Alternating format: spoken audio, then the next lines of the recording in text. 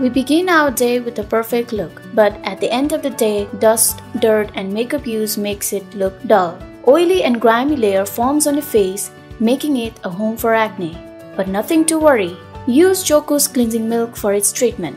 Gently massage it over your face for few minutes, then wipe with damp cotton or cloth. Say goodbye to dull look and say hello to acne-free refreshing skin.